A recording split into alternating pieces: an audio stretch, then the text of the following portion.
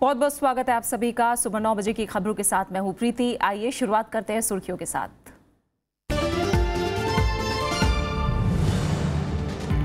मुलायम सिंह यादव ने अखिलेश को बताया मुख्यमंत्री पद का उम्मीदवार। लखनऊ में आज होगी मुलाकात। पार्टी में संकट के लिए रामगोपाल यादव को ठहराया जिम्मेदार।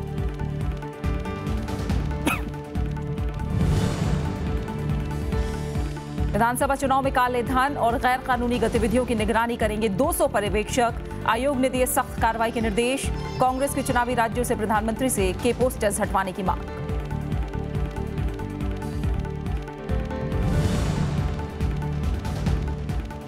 कालेधन को सफ़ेद बनाने में हुआ सहकारी बैंकों का इस्तेमाल। आयकर विभाग ने बढ़ाया जाँच का दायरा। महाराष्ट्र, गुजरात और राजस्थान के कई शहरों में बेनामी लॉकरों से भारी नकदी जब्त।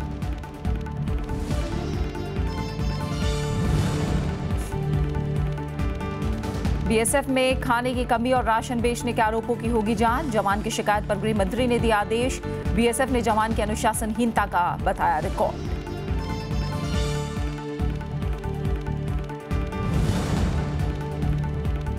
प्रवासी भारतीयों से देश के विकास में योगदान की अपील। राष्ट्रपति ने स्टार्टअप इंडिया और मेक इन इंडिया योजनाओं में मांगा सहयोग। 21 देशों के 30 प्रवासी भारतीय सम्मानित।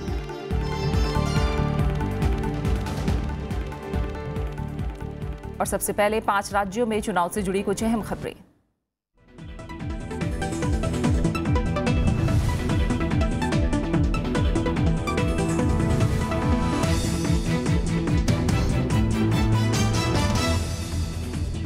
समाजवादी पार्टी में मतभेद सुलझाने की कोशिश करते हुए मुलायम सिंह यादव ने अखिलेश यादव को पार्टी की तरफ़ से मुख्यमंत्री पद का उम्मीदवार बताया है। चुनाव आयोग में दावेदारी जताने के बाद उन्होंने पार्टी में किसी टूट को खारिज किया। और जल्द प्रचार शुरू करने की बात कही। आज मुलायम सिंह और अखिलेश यादव के बीच मुलाकात भी होनी है। चुनाव आयोग में समाजवादी पार्टी और चुनाव चिन्ह पर दावेदारी जताने के बाद बीती रात मुलायम सिंह यादव लखनऊ पहुँचे। उन्होंने सुलह की एक और कोशिश करते हुए कहा कि अगर पार्टी चुनाव जीती तो अखिलेश ही मुख्यमंत्री बनेंगे। पार्टी टूटी है न टूटेगी और पहला ही है कि जो मुख्यमंत्री के बारे में कहा जा रहा है इसे मैंने कहा अगला मुख्यमंत्री अखिलेश यादव ही होगा। मुलायम सिंह ने कहा कि वो जल्द ही पार्टी का प्रचार शुरू करेंगे और हर मंडल में एक सभा करेंगे। पार्टी के प्रचार के लिए हम जल्दी निकलेंगे। उम्मीदवारों के जिताने के लिए प्रचार के लिए बहुत जल्दी पूरे प्रदेश का दौरा करेंगे। इससे पहले दिल्ली में मुलायम सिंह यादव ने राम गोपाल यादव का नाम लिए बिना उन्हें पार्टी के संकट के लिए जिम्मेदार ठहराया। उन्होंने राम गोपाल यादव को सदन में पार्टी के नेता पद से हटाने के लिए राज्यसभा के सभापति को चिट्ठी लिखी। वहीं अखिलेश खेमा भी रामगोपाल यादव के नेतृत्व में चुनाव आयोग पहुँचा। उन्होंने कहा कि नामांकन से पहले इस विवाद का निपटारा होना चाहिए। इलेक्शन कमीशन हम लोग गए थे, ये मांग करने कि जो पिटीशंस दोनों तरफ़ से हैं। उस पर बहुत जल्दी फैसला कर दें, क्योंकि सत्रह तारीख से नॉमिनेशन शुरू है। लखनऊ में सोमवार दिन भर अखिलेश यादव के आवास पर बैठकों का दौर जारी रहा। उन्होंने विधायकों, पार्टी नेताओं के साथ चुनावी रणनीति पर चर्चा की। लखनऊ से कृति मिश्रा के साथ पंचानन मिश्रा, राज्यसभा टीवी, दिल्ली। और समाजवादी पार्टी में चल रही हलचल के बीच अपडेट लेते हैं। सीधा चलते लखनऊ, हमारी संवाददाता कृति मिश्रा हमारे साथ मौजूद हैं। कृति, आज की बैठक के बारे में क्या अपडेट है? क्या पता लग पा रहा है? और सुलह के संकेत ज़रूर मुलायम सिंह यादव की तरफ़ से मिल गए हैं, लेकिन क्या ये इतना आसान अब नज़र आ रहा है?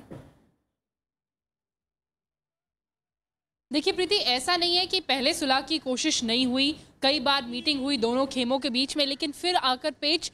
वहीं रामगोपाल यादव, अमर सिंह, शिवपाल और टिकट बंटवारे को लेकर फंस जाता था। लेकिन इस बार आज जो मीटिंग है, जो मुलाकात है पिता पुत्र के बीच में, वो अलग हो सकती है। वो इसलिए क्योंकि दोनों ही धड़े इलेक्शन कमीशन के पास पहुँच चुके हैं। नब्बे फ़ीसदी अखिलेश खेमे का कहना है कि पार्टी अखिलेश के साथ है।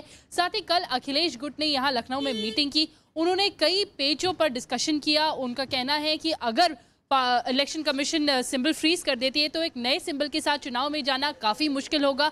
साथ ही जो समाजवादी पार्टी का जो कोर वोटर बेस है, उसको कंसोलिडेट करना अगर पार्टी अलग होती है तो काफ़ी मुश्किल हो जाएगा। इसलिए आज देखना ये ज़रूरी है कि किस तरह का कॉम्प्रोमाइज़ फॉर्मूला पिता और पुत्र के बीच में निकल कर आता है। साथ ही प्रीति, मैं आपको ये भी बता दूँ कि एक धड़ा ऐसा भी है जिसका मानना है कि ये पूरा सब कुछ काम कवायद स्क्रिप्ट के तहत की जा रही है, ताकि अखिलेश की साफ़ सुथरी छवि पेश की जा सके। दोनों ही सूरतों में प्रीति, ये देखना होगा कि समाजवादी पार्टी का कितना फ़ायदा होता है, वो भी ऐसे समय में, जब अब नामांकन प्रक्रिया बहुत जल्दी शुरू होने वाली है। जी, प्रीति। बिल्कुल, अब देखना होगा आज की बैठक के बाद क्या निकल के आता है, क्योंकि सत्रह तारीख से नामांकन शुरू है, दोनों ही पक्ष चुनाव आयोग से भी मिल चुके हैं। और अब ज़ाहिर तौर पर बिल्कुल फैसला लेने का आखिरी वक्त है, आखिरी घड़ी है, ऐसे में क्या निकल कर आता है, देखना होगा। कृति बहुत बहुत शुक्रिया इस तमाम अपडेट को हम तक पहुँचाने के लिए।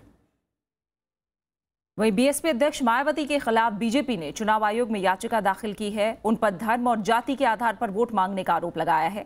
बीजेपी का कहना है कि सुप्रीम कोर्ट ने धर्म और जाति के आधार पर वोट नहीं मांग सकने का फैसला सुनाया है, लेकिन 3 जनवरी 2017 को प्रेस कॉन्फ्रेंस करके मायावती ने धर्म और जाति के आधार पर उम्मीदवारों की सूची जारी की थी। बीजेपी ने उनके खिलाफ मामला दर्ज करने और पार्टी की मान्यता रद्द करने की मांग की है।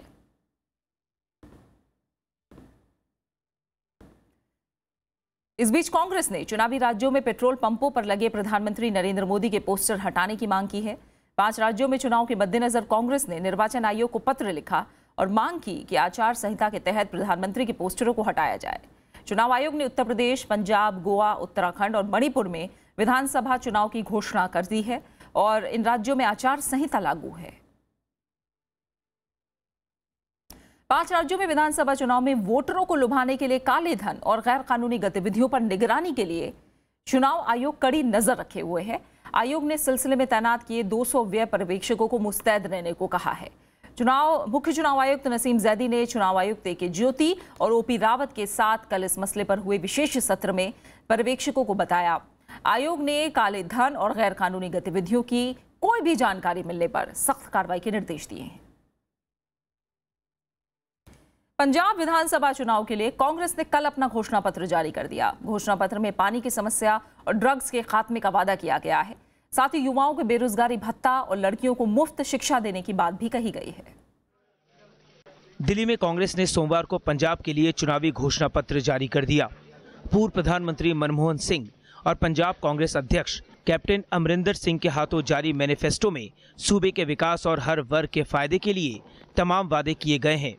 पूर्व प्रधानमंत्री मनमोहन सिंह ने कहा कि घोषणा पत्र में सूबे की बेहतरी के तमाम मुद्दों को जगह दी गई है। This election manifesto is a forward looking visionary document which promise the people of Punjab that we will undo damage that was done to Punjab economy by the previous government in the last ten years घोषणा पत्र में Sutlej Yamuna link विवाद का सीधे ज़िक्र नहीं किया गया, लेकिन घोषणा पत्र की पहली ही लाइन है, पंजाब दा पानी, पंजाब वास्ते। चार हफ़्ते में ड्रग्स की सप्लाई और उसके इस्तेमाल को खत्म करने का वादा। पाँच सालों में हर परिवार के कम से कम एक सदस्य को नौकरी और बेरोजगारों को पच्चीस सौ रुपए प्रति माह का बेरोजगारी भत्ता। केजी से पीएचडी तक लड़कियों को मुफ़्त शिक्षा, नौकरियों, शिक्षक संस्थाओं और सभी श्रेणियों में प्लॉटों के अलॉटमेंट में महिलाओं के लिए 33 फ़ीसदी आरक्षण, साथ ही व्यापार और उद्योग के लिए उचित कीमतों पर बिजली, पानी और सफ़ाई सुरक्षा। बेघर अनुसूचित जातियों को एक लाख रुपए की वित्तीय मदद के साथ मुफ़्त घर या प्लॉट दिए जाएँगे। ओबीसी के लिए नौकरियों में 12 से 15 फ़ीसदी, शिक्षण संस्थाओं में 5 से 10 फ़ीसदी आरक्षण बढ़ाया जाएगा। जमीनी स्तर पर गार्डियंस ऑफ़ गवर्नेंस के तौर पर कार्य करने के लिए पूर्व सैनिकों के नए विभाग का निर्माण, ताकि सरकारी स्कीमों के लागू होने पर निगरानी रखी जा सके। किसानों की कर्ज माफ़ी, आर्थिक और सामाजिक सुरक्षा का वादा। इस मौके पर पंजाब कांग्रेस अध्यक्ष कैप्टन अमरिंदर सिंह ने दावा किया कि कांग्रेस की सरकार बनने पर राज्य ने 10 सालों में जो नुकसान उठाया, उसकी भरपाई की जाएगी।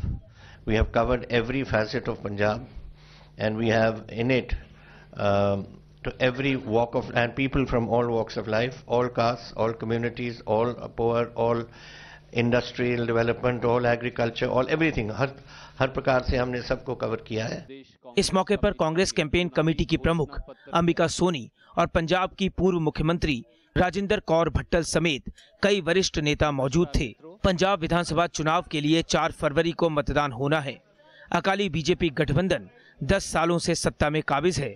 इस बार अकाली बीजेपी गठबंधन, कांग्रेस और आम आदमी पार्टी के बीच त्रिकोणीय मुकाबला होने की उम्मीद है। प्रणब गोस्वामी, राज्यसभा टीवी।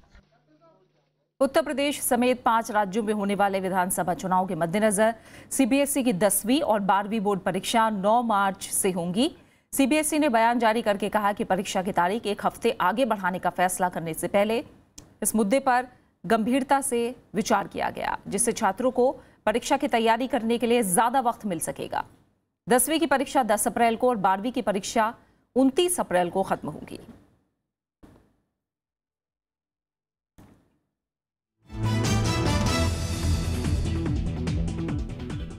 और अब कुछ और अहम खबरें। आयकर विभाग ने कहा है कि कई सहकारी बैंकों ने नोटबंदी का इस्तेमाल काले धन को सफ़ेद करने में किया है। पीटीआई के मुताबिक विभाग ने इन बैंकों के कामकाज की जाँच करने के बाद एक रिपोर्ट तैयार की है, जिससे पता चलता है कि इन बैंकों ने काली कमाई को ठिकाने लगाने में अहम भूमिका निभाई है। जाँच में पाया गया कि राजस्थान में अलवर के एक सहकारी बैंक के निदेशकों ने संदिग्ध पहचान वाले नब्बे लोगों के नाम पर कर्ज हासिल करके आठ करोड़ रुपए का चूना लगाया। इन बैंकों में केवाईसी नियमों का ध्यान नहीं रखा गया। विभाग ने महाराष्ट्र, गुजरात और राजस्थान के कई शहरों में बेनामी लॉकरों से भारी मात्रा में नकदी बरामद की है। आयकर विभाग ने ऐसे संदिग्ध मामलों की जाँच तेज कर दी है।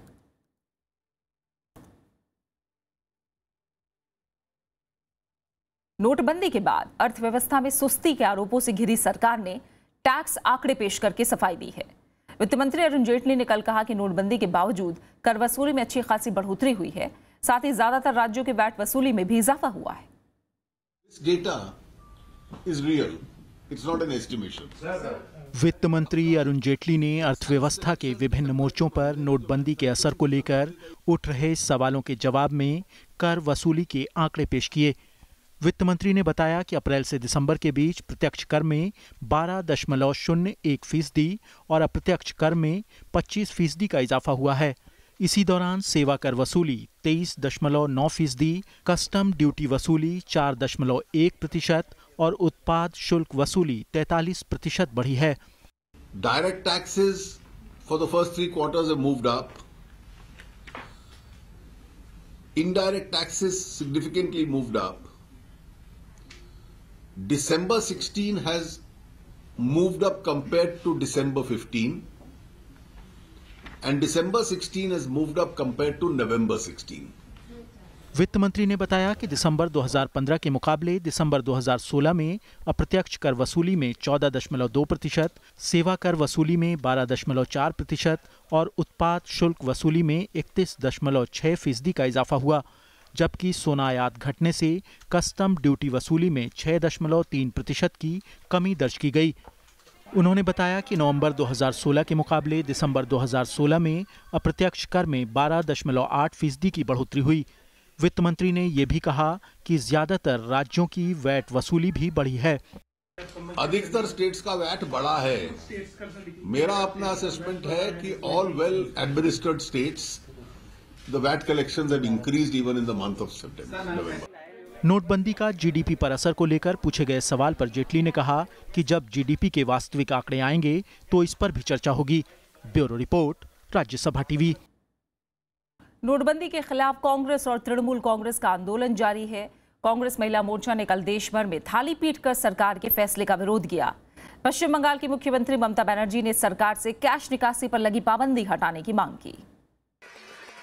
नोटबंदी के खिलाफ ये है कांग्रेस महिला मोर्चा का थाली पीट प्रदर्शन। देश के कई राज्यों में कांग्रेस की महिला कार्यकर्ताओं ने सरकार की नोटबंदी के फैसले का इसी तरह विरोध किया। पार्टी का आरोप है कि लोग परेशान हैं और सरकार को लोगों की परेशानी की परवाह नहीं है। उसका असर महिलाएँ पर सबसे ज़्यादा पड़ते हैं। हेल्थ हो एजुकेशन हो जॉब्स हो तो ये नोटबंदी महिला सशक्तिकरण का जो उद्देश्य है जो गोल है उसमें एक बहुत ही झटका पहुँचाए हैं और हम थाली पीट के यही सोते हुए सरकार को जगाने की प्रयास कर रहे हैं। जयपुर में प्रदेश पार्टी अध्यक्ष की अगुवाई में राजस्थान कांग्रेस ने प्रदर्शन किया। सचिन पायलट ने कहा कि सरकार उन लोगों को राहत दे जिन्हें नोटबंदी के चलते नुकसान उठाना पड़ा है।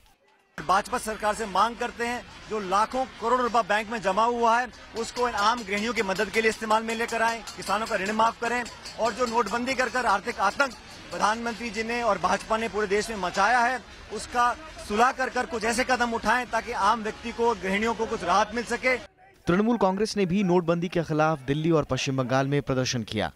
वहीं पश्चिम बंगाल की मुख्यमंत्री ममता बनर्जी ने कहा कि नोटबंदी के चलते लागू पाबंदी से लोगों को खासी दिक्कतें हो रही हैं। उन्होंने सरकार से कैश के निकासी में लागू सभी तरह की पाबंदियाँ हटाने की मांग की।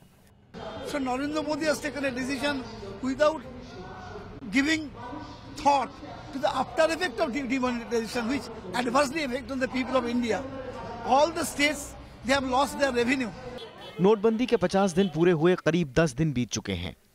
लेकिन एटीएम से कैश निकालने और खातों से पैसे निकालने को लेकर पाबंदी लागू है। विपक्षी पार्टियों का आरोप है कि सरकार के इस फैसले से अर्थव्यवस्था की रफ्तार पर खासा असर पड़ेगा। वहीं लोगों को इससे कई तरह की परेशानी भी हो रही है। Bureau report, Rajya Sabha TV. संसद की लोक लेखा समिति नोटबंदी से जुड़े मुद्दे पर प्रधानमंत्री को भी तलब कर सकती है। पीएससी चेयरमैन केवी थॉमस ने यह बात कही है। उन्होंने कहा कि समिति को किसी से भी सवाल जवाब का अधिकार है और अगर रिज़र्व बैंक और वित्त मंत्रालय के जवाब से समिति संतुष्ट नहीं होती तो प्रधानमंत्री को भी बुलाया जा सकता है। नोटबंदी के मुद्दे पर लोक लेखा समिति ने रिज़र्व बैंक के गवर्नर और वित्त मंत्रालय के वरिष्ठ अधिकारियों से 20 जनवरी तक जवाब मांगा है। प्रधानमंत्री को बुलाए जाने के सवाल पर उन्होंने कहा कि कमेटी को इस फैसले में शामिल किसी भी शख्स को बुलाने का अधिकार है। Hearing the governor and the officers, the committee will take appropriate decision. And if more experts have to be heard, that will also be heard. Then unanimously, the committee will prepare a report and present to the parliament. समिति ने reserve bank के governor और वित्त मंत्रालय से पूछा है कि नोटबंदी के फैसले में कौन कौन शामिल था इसके बाद कितनी राशि बैंकों में वापस आई है क्या कोई नियम है कि लोगों को अपना पैसा निकालने से रोका जा सकता है? कितने नए नोट बैंकों को जारी किए गए हैं?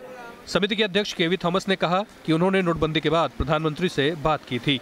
तब उन्होंने कहा था कि 50 दिन के बाद हालात सामान्य हो जाएँगे लेकिन ऐसा नहीं हुआ। After Honorable Prime Minister declared the demonetization, that PSC will call the Governor of the Reserve Bank, the concerned officers, and discuss the effect of demonetization on the economy of the country. लोक लेखा समिति जो कै की report की समीक्षा करती है उसने इस अहम मुद्दे को संज्ञान में लिया है। इसके अलावा केवी थॉमस ने कहा कि कमेटी की एक उप समिति संसद की इस समिति की कार्यवाही की मीडिया रिपोर्टिंग के बारे में विचार कर रही है। Bureau report Rajya Sabha TV. Bengaluru में कल चौदहवें प्रवासी भारतीय दिवस का समापन हो गया। इस मौके पर राष्ट्रपति प्रणब मुखर्जी ने प्रवासियों से देश के विकास में मदद की अपील की। उन्होंने 21 देशों के 30 प्रवासी भारतीयों को सम्मानित भी किया। राष्ट्रपति प्रणब मुखर्जी ने चौदहवें प्रवासी भारतीय दिवस कार्यक्रम के समापन सत्र में कौशल विकास पर ज़ोर दिया। उन्होंने कहा कि प्रवासी भारतीयों को स्वदेश आकर युवाओं को पेशेवर और तकनीकी प्रशिक्षण देना चाहिए। With regard to these temporary migrants going abroad in search of employment, it will also be prudent that attention is paid towards their skill upgradation, establishing linkage between the government of India's skill programs and the skill gap that exists. राष्ट्रपति ने शादी करके विदेश जाने वाली महिलाओं की दिक्कतों पर भी बात की उन्होंने कहा कि प्रवासी भारतीय संगठनों को इन समस्याओं को दूर करने के लिए आगे आना चाहिए। इस मौके पर राष्ट्रपति ने 30 प्रवासी भारतीयों को सम्मानित भी किया।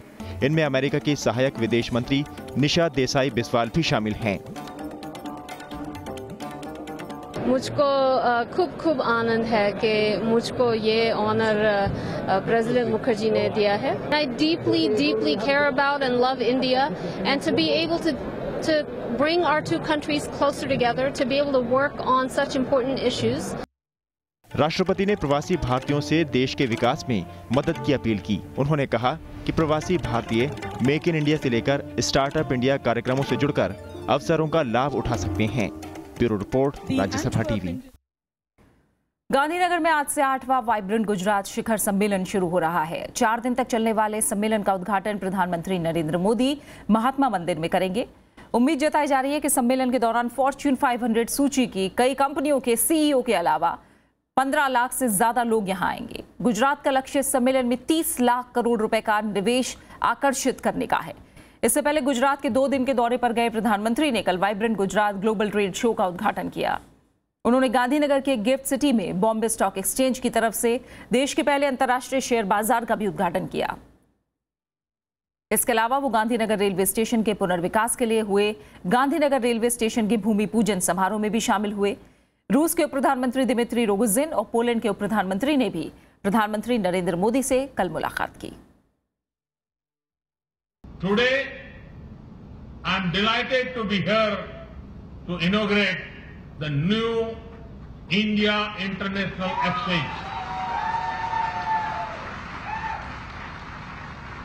It is an important milestone not just for Gift City, but for India in creating 21st century infrastructure.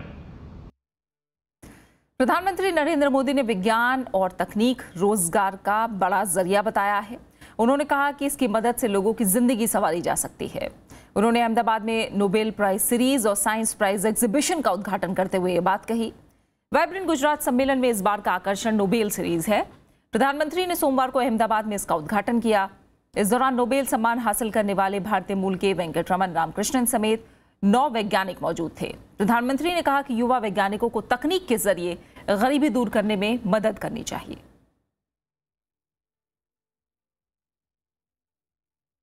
Scientist की ज़िंदगी भले एक लैब में पूरी होती हो, लेकिन उसका कंट्रीब्यूशन सदियों तक मानव कल्याण के लिए काम आता है। बीएसएफ जवान की तरफ़ से सोशल मीडिया पर डाले गए वीडियो के वायरल होने के बाद गृहमंत्री राजनाथ सिंह ने मामले में रिपोर्ट तलब की है। जम्मू कश्मीर में सीमा पर तैनात बीएसएफ जवान ने सोमवार को इंटरनेट पर अपने अनुभव से जुड़ा वीडियो डाला था। इसमें जवान ने बड़े अधिकारियों पर खाने में कमी और राशन बेचने जैसे आरोप लगाए हैं। एक बीएसएफ जवान की तरफ़ से सोशल मीडिया पर डाले गए एक वीडियो के वायरल होने के बाद गृह मंत्री राजनाथ सिंह ने मामले में रिपोर्ट तलब की है। गृह मंत्री ने मामले में उचित कार्रवाई करने के लिए कहा है।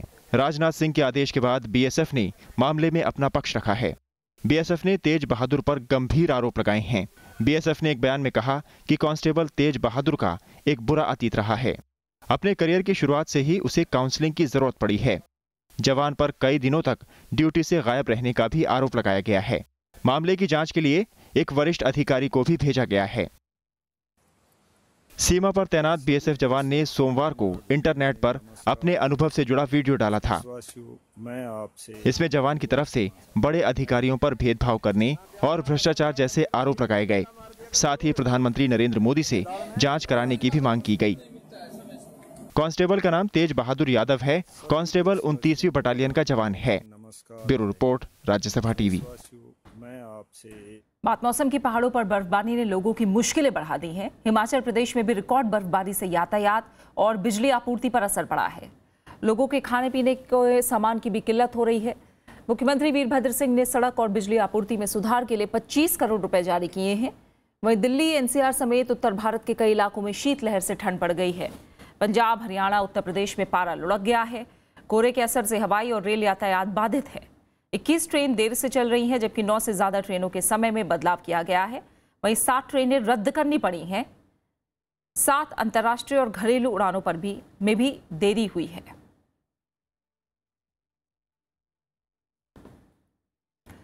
पाकिस्तान से पनडुब्बी से दागी जाने वाली पहली क्रूज मिसाइल बाबर थ्री के सफल परीक्षण का दावा किया गया है। इसकी मारक क्षमता साढ़े चार सौ किलोमीटर है। हालाँकि ये जानकारी नहीं दी गई कि मिसाइल का परीक्षण हिंद महासागर में कहाँ से किया गया। इस पनडुब्बी से कंट्रोल ऑफ़ फायर किया जा सकता है। इसमें एडवांस्ड गाइडेंस और नेविगेशन सिस्टम भी लगाए गए हैं। वहीं चीन ने अपने महत्वाकांक्षी अंतरिक्ष कार्यक्रम के तहत सोमवार को पहला व्यावसायिक अंतरिक्ष मिशन सफलतापूर्वक लॉन्च किया। सरकारी न्यूज़ एजेंसी शिनहुआ के मुताबिक पश्चिमोत्तर चीन की गांसू प्रांत में के जेड वन ए रॉकेट से इसे प्रक्षेपित किया गया। रॉकेट जी एल वन उपग्रह और दो cubesat X Y S one और कैटोन वन लेकर रवाना हुआ। कम लागत वाले इस रॉकेट में ठोस ईंधन का इस्तेमाल किया जाता है। मिस्र के उत्तरी सिनाई में आतंकी हमले में पुलिस के 10 सुरक्षा कर्मियों की मौत हो गई, जबकि 22 लोग गंभीर रूप से घायल हुए हैं। पुलिस के मुताबिक एक आत्मघाती हमलावर ने विस्फोटक से भरे ट्रक से एक सुरक्षा चौकी को निशाना बनाकर हमला किया। इसके बाद उन्होंने गोलियाँ भी चलाई। आतंकवादियों ने हमले के लिए कचरा ढोने वाले ट्रक का इस्तेमाल किया। अभी तक किसी समूह ने हमले की ज़िम्मेदारी नहीं ली है। 2011 में आंदोलन के बाद से मिस्र के उत्तरी सिनाई में आतंकी हमले बढ़ गए भारतीय क्रिकेट टीम के पूर्व कप्तान सौरभ गांगुली को जान से मारने की धमकी मिली है। गांगुली ने खुलासा करते हुए कहा कि उन्हें 19 जनवरी को विद्यासागर विश्वविद्यालय की इंटर कॉलेज क्रिकेट प्रतियोगिता में भाग नहीं लेने की चेतावनी दी गई है। वो इस कार्यक्रम के मुख्य अतिथि हैं। खबरों के मुताबिक एक अज्ञात शख्स ने गांगुली की माँ निरूपा के नाम लिखी चिट्ठी में धमकी दी। गांगुली ने इसकी शिकायत पुलिस से की है। स्टार फुटबॉलर क्रिस्टियानो रोनाल्डो को फीफा के player of the year award से नवाजा गया है। रोनाल्डो ने अर्जेंटीना के लियोनेल मेसी और फ्रांस के एंटोने ग्रीजमैन को पछाड़कर यह खिताब हासिल किया। रोनाल्डो ने चौथी बार यह खिताब जीता है। इससे पहले वो 2008, 2013 और 2014 में भी खिताब अपने नाम कर चुके हैं रोनाल्डो ने पिछले साल सत्तावन मैचों में 55 गोल किए थे वहीं अमेरिका की कार्ली लॉयड को लगातार दूसरे साल सर्वश्रेष्ठ महिला खिलाड़ी चुना गया Eu não tinha dúvidas que podia ter ganho. Tonight, the Spirit of Football's new award show. Player of 2016 is Cristiano Ronaldo.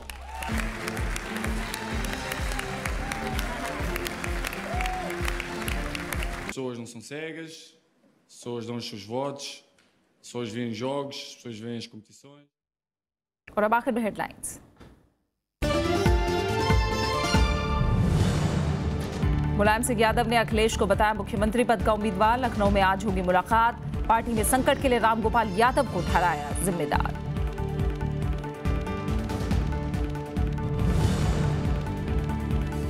विधानसभा चुनाव में काले धन और गैर कानूनी गतिविधियों की निगरानी करेंगे 200 पर्यवेक्षक आयोग ने दिए सख्त कार्रवाई के निर्देश। कांग्रेस की चुनावी राज्यों से प्रधानमंत्री के पोस्टर्स हटवाने की मांग।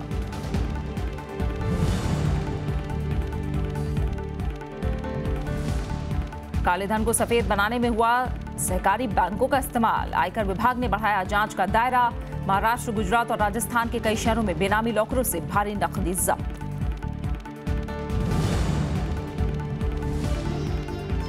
बीएसएफ में खाने की कमी और राशन बेचने के आरोपों की होगी जाँच। जवान की शिकायत पर गृह मंत्री ने दिया आदेश। बीएसएफ ने जवान की अनुशासनहीनता का बताया रिकॉर्ड।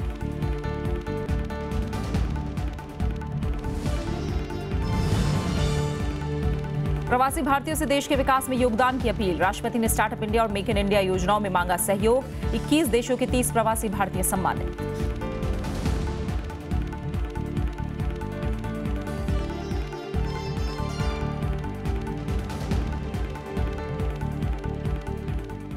और फ़िलहाल सुबह नौ बजे की खबरों में मेरे साथ इतना ही। आगे देखिए देश देशांतर। नमस्कार।